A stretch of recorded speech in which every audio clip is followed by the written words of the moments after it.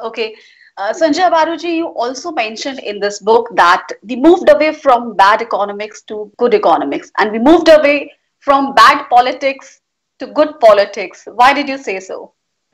Well, I defined bad politics in the sense that, you know, uh, I think Narasimha Rao himself put it very well in his book, The Insider. He wrote a fictionalized uh, semi autobiography, uh, which was actually released after his prime ministership by Prime Minister Atal Bihari Vajpayee.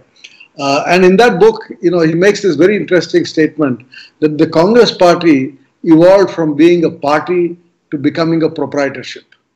And that was the how the, the Congress party was taken over by one family.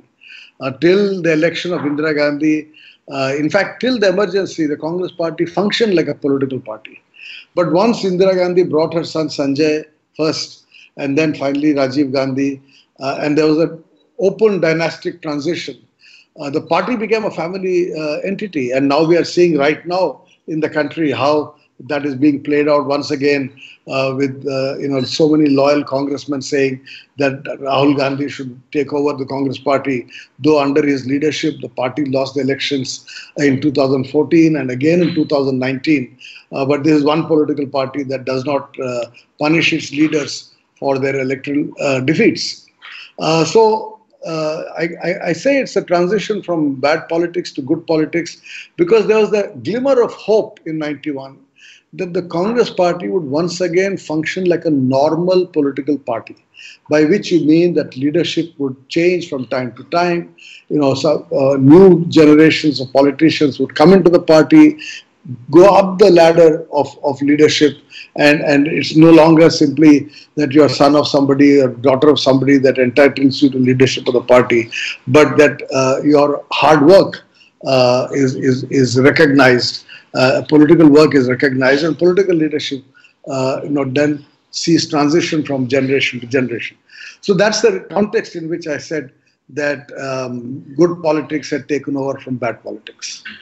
Okay. Uh, uh, very significant year it was. Uh, but you also called uh, P.V. Narasimha Rao as the first accidental prime minister. Why so? Well, I mean, that is quite obvious because he was not expecting to become prime minister. Uh, he was actually winding up his house in Delhi. He was packing his bags in Delhi. Uh, there was a story written by his his secretary, uh, PVRK Prasad, that he had acted to become a pujari in a temple.